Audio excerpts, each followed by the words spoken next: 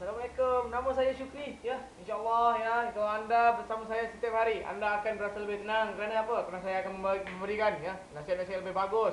Hari ini lebih baik daripada semalam, semalam lebih baik daripada kemarin, dan besok lebih baik daripada hari ini ya. ya. Jadi kalau anda mendapatkan uh, uh, apa saya saya lupa dah apa nak cakap tadi. Ya, kalau anda mendapatkan nasihat-nasihat daripada saya, ya, uh, kalau mahu kan nasihat-nasihat saya, belilah buku saya ya.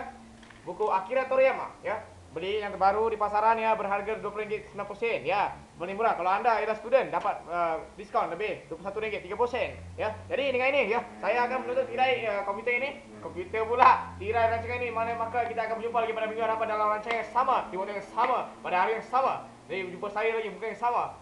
Akhirnya Sekretariat Assalamualaikum warahmatullahi wabarakatuh. Assalamualaikum.